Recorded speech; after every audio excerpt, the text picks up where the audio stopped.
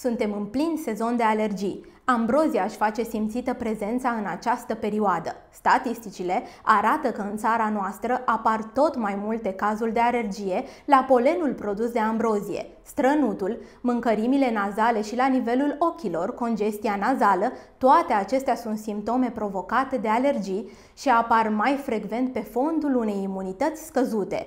Tu ce măsuri iei împotriva alergiilor, mai ales dacă ai și o imunitate slăbită?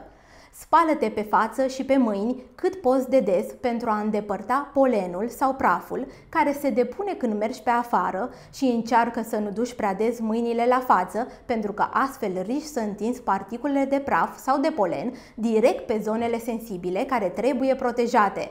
Folosește tratamente care îți pot fi de folos. Caută remedii naturale din plante medicinale care te pot ajuta să ții sub control alergiile.